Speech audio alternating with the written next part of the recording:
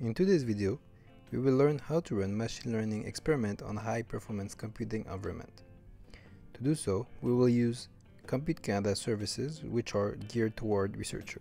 We will go through the following steps. First, we're going to get access to a supercomputer. Um, then we're going to set up the, our, our environment by downloading some code. Then we're going to transfer data that we need to analyze. After that, we're going to redesign the code that we already created for parallelism. We're to schedule the jobs uh, using Slurm. And finally, we're going to run and monitor those jobs. The first step is to gain access to a supercomputer. Depending on the service you want to go for, you'll need to go through different uh, security checks. In the case of Compute Canada, you will need to find a professor uh, with an account that can sponsor you. So uh, what you really need to do is find this professor, fill up this form. So you read all of this, and then uh, you submit this this um, this form, and you need to uh, tell your professor uh, that uh, they you submitted the form and that they, they you need a sponsor. Once you submit the form and the professor accepts you, uh, you will be able to access your panel um, and your administrative panel and you're gonna have access to this thing which is your username and um, that's pretty much all you need you need you have this username and then you have your password and uh, you will have access to any of the supercomputer in the Compute Canada um, clusters so let's look at some of them that are uh, available we have uh, Cedar, we have Graham, you have Beluga Niagara. Um, I usually tend to take the one that is closest to me so that uh, we have less latency when we send jobs.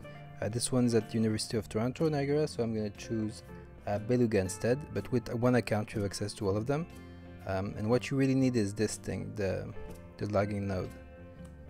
Right, you're to have to enter your password.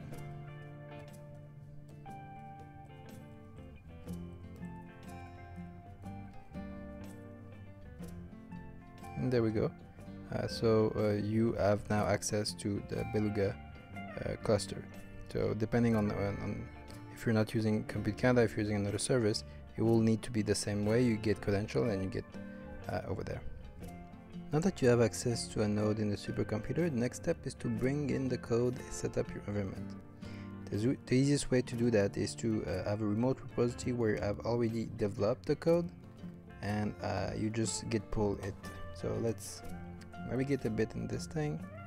Uh, we're gonna move into the project.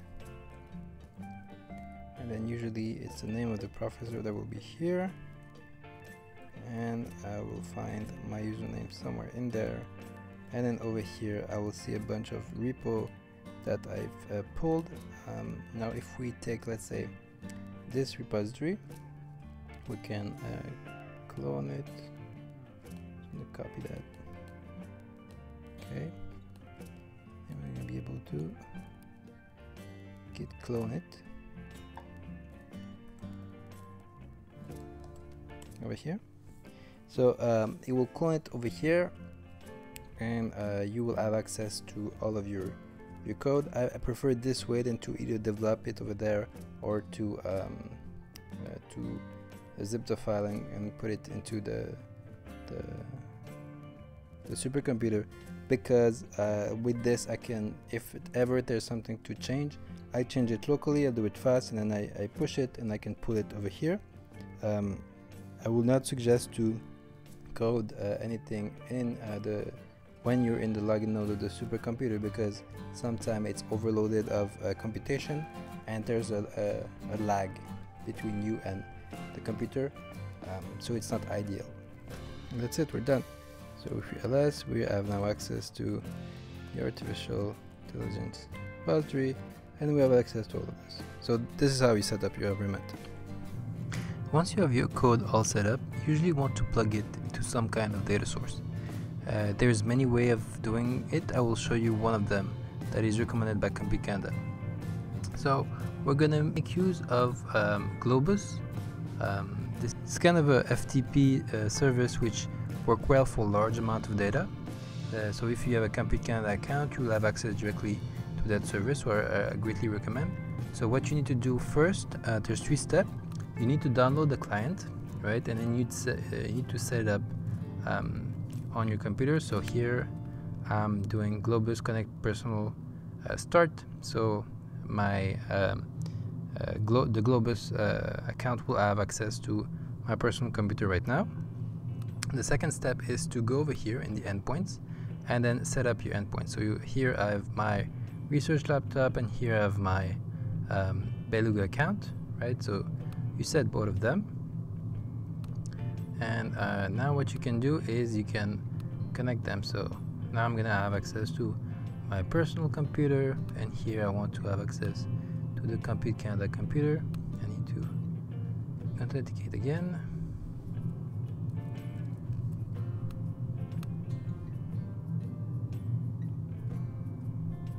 Good, so should get access to that and I will be able to see uh, the stuff that are inside uh, the supercomputer um, for my personal project. So we're going to be able to see the directory with just a clone over here. So um, we can delete, we can do all kind of operation over here. So just be careful. Now we can take the data and put it here. Um, it's already in there. Um, so that's it. So there you go. You can now easily transfer the file from your computer or any other endpoint to the supercomputer. So most of the time we design our code uh, without parallelism in mind. Um, depending on uh, with what you, your code is written, you will need to make some uh, varying amount of adjustment.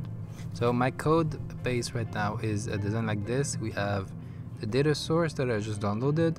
There's a feature generation um, step where I take uh, uh, code from a library and I apply it to this dataset this will generate me a data frame, right, of all the participant, which I can then use in um, the rest of my code, which is written in Python. So here I have a, a first step, which is to find the best classifier for this data set using a leave one subject out cross validation scheme. So I'm going to take this uh, data frame, I'm going to churn through it, and then this will output which is the best classifier. And then usually what I want to do is I want to uh, I want to quantify the performance of the classifier and its um, it's a it's a characteristic. So I'm doing some bootstrap resampling over here some permutation testing and uh, getting out uh, the feature weights. And then I pickle all of these so I can reuse that, uh, them afterward. Um, those are the heavy um, those three actually are the heavy lifter. This one is easy this one is not so bad. Um, so that's what they look like. So I have to uh, parallelize this guy and I have to paralyze um, those four so let's look at the MATLAB uh, version. So here we are, this is the MATLAB code to generate the feature. Um, MATLAB has some neat uh, way of doing the uh, parallelism um, if you don't have to dig too much into it. If you want to uh, uh, parallelize the, the for loop iteration, it's fine. If you want to go deeper, it's a bit clunky. Uh, in our case, we can design the parallelism fairly easily for um, the generate feature script. So the first thing we need, uh, we need to do some setup. So here I have some hard-coded uh, path. Uh, with here, this is a library I'm going to use. This is the number of core I'm going to I'm going to need.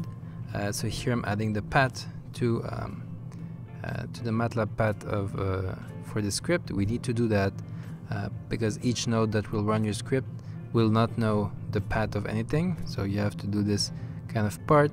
Um, there was some bug in the cluster code of MATLAB, so I need to disable some feature. And finally, this is the part that is important. I'm setting up um, my parallel pool of workers, and I want uh, 40 of them, so 40 cores. So this is important. Everything else here is not too bad. It's not. It's a rest. It's the same thing as if I was to do it in one core or two core in my local computer.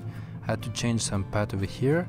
I would have been a good idea to have um, this part kind of uh, in the config but now it's, it's gonna do. And after that the only change that I need is to say which which part of the code needs to be parallelized. And in this case you just need to use a parfor and this is where I'm doing the parallelization. So I'm gonna turn through every participant in parallel. And that's it. So here this whole thing is similar than if I was to run it in uh, on my local computer. Um, except it will run on, on 40 cores instead of, of 2 and finally once this parallelization done I'm gonna have the output file of each participant and here I'm concatenating them into one big file um, so that the rest of the the uh, the processes can can use it. So it's fairly simple in MATLAB. Let's now look at the Python portion. So Python is even easier um, to parallelize. There's many way um, because I'm using scikit-learn. Uh, there's um, there are things that you can do out of the box, um, but I will strongly suggest everyone to take a look at Dask. Uh, I'm gonna port some of my code to Dask to uh, to ease a bit uh, the parallelization jobs. So the only part, the only thing that you really need to do here with scikit-learn is uh, this thing. You say what you want to parallelize. So here, I want to do joblib parallel backend. I want to use the loky one, and this one is um, the default, and it will uh, it will just work on on the node. Um, there's there's different kind of backend. You can use the Dask backend, uh, which is a bit more powerful if you have many nodes. Um, and here I want to parallelize the fitting because here this is usually used with a grid search. So this dot fit will fit many classifier at the same time. Uh, this is one way. If we look at um, another way of doing it with multiprocessor from uh, Python, um, let's look at the bootstrap. The bootstrap. So here um, this is the bootstrap interval. The bootstrap interval, I need to run the same thing a thousand times uh, usually. Um, so what do I need to do? You need to do some setup, right? To say how many um, processes you need. Here I say that I want um, 40, well actually I'm gonna take whatever Slurm, um, uh, whatever I configured as the number of CPU I need and I'm gonna put it here. So I'm gonna have my parallel pool and after that this is usually what it look like. You apply and then you get right? So here I'm doing pool.apply async and I apply the function and those are the parameter. So and then I iterate in the list comprehension and I'm gonna do bootstrap classify and the bootstrap classify is like one run of my thing so I'm gonna resample I'm gonna get whatever I need to get and then I'm gonna return whatever I need to return um, and that's it so I get the result this is not what your data right? Because this is kind of saved and you need to get them out. And then you're gonna get those things and then you can do the rest of your calculation. So it's a mix, mix of the two, mix of scikit-learn joblib and mix of multiprocessor. Alright, good. So um, now we're gonna look at the scheduling job using Slurm. So what's Slurm? A Slurm is uh, the scheduler. So every supercomputer will have a scheduling software that will prioritize and allocate resources for efficiently for jobs. In most cases, the scheduler will be Slurm, um, which is quite simple um, to pick up. So let's look at the simple. Uh, uh, let's look at a sample Slurm file, which will be used to uh, give to um, the scheduler. So that will define what your job look like. So this one, task zero generate feature.sl. This is just a bash file with a bunch of particularities. Um, those are the commands that you need to give uh, for um, uh, the, the Slurm scheduler and this is the code that you want to run um, and usually this one when you have srun this is where you're gonna have your your parallelization after that before that and after is uh, either the the setup and the cleanup so let's look at this weird part over here you say it's a bin, uh, it's a bash a script and then you you uh, set up your parameter the first one, you give a name uh, that makes sense. So here, this is make feature. Uh, this is for you when you're gonna get emails because you can get emails of when your job is gonna be run. You say for which account it is. You say for how many, what is the wall time of your um, your thing. So it's in day, hour, um, minute, and second. Uh, this is when the scheduler should. Um, this is the upper bound of the time it should take. So if you put like 30 days, um, you will most likely run to completion. However, the scheduler will have a hard, hard time giving you some resources. If you put too low and you uh, underestimate time that it take, uh, most likely your job will fail. So there's a there's a wiggle room here that you need to figure out. Um, that's it. So here this is how many node that you want. In the Beluga cluster, one node is 40 cores. Um, so this is one thing that you need to take into consideration. Here it's the number of tasks that you want to, to run of the same thing. Here it's the number of the CPU per task. So here I want to run 40 CPU per task. I only have one task. Here it's the number of memory that you want in megabyte. And finally, it's a mailing um, information so that uh, Slurm can send you email uh, telling you if a job began, if a job had problem, if a job ended. And that's it. Over here, I'm um, I'm running my stuff, so generate feature um, script, and before that, I'm setting up MATLAB properly. Uh, every every node that you're gonna get into will be uh, empty, so you need to do your stuff properly. So this is for MATLAB and for um, Python. It look kind of similar. Uh, this one will will run for a bit longer than the previous one, and I'm doing some pip install over here. I should use pip install uh, requirement.txt, but that can uh, that work also um, for my case. And that's it. All right, good. Once your code is set up, uh, you get the data, your jobs are defined, you're ready to run your code in the on the supercomputer. So this is what you were all waiting for.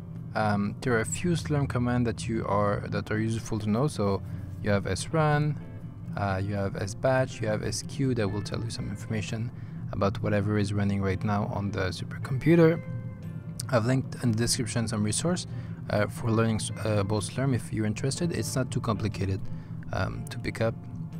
So let's schedule our job uh, to run right now. So what you need to do is sbatch, and then you need to say which um, which Slurm file you want to run. I want to run task zero generate feature SL, and what I'm gonna do, I'm gonna link all of them so I'm can I can define all of them, and then just go to sleep and not worry about anything because my pipeline will run sequentially.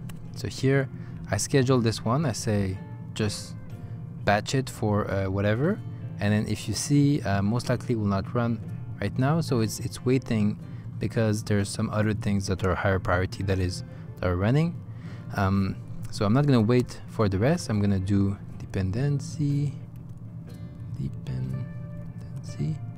And I'm gonna uh, give the job ID and I'm gonna directly schedule um, the find best param right so uh, best param uh, require task 0 so task 0 require nothing task 1 require task 0 good. And then task 2 and the rest uh, require task 1 so I'm gonna take the job ID from task 1 right? And then I can give task 2a and then those are only just waiting for um, task 1 so I can give the same ID for them. And there we go. So they are all um, waiting to run right? And you see those are waiting because of a dependency as one is waiting because of priority. And what will happen is I'm gonna get email um, telling me at every step of the way which one began and which one is stopped. And because I set the name properly I know what, what at what spot my pipeline is running.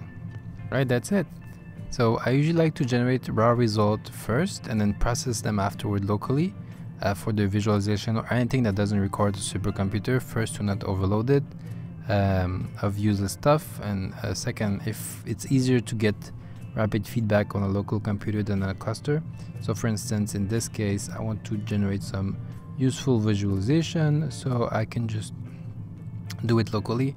So um, I get my data that I've, I've uh, transferred from the supercomputer and I can uh, generate some nice figure, uh, get some um, some statistic, generate plot, play with it a bit, um, and finally get get my answer to my research question. Right? It's easier to do it this way, I find, than um, on the computer. So that's it. I hope it helped. Um, if you have questions, just leave them in the comments, and have a good week.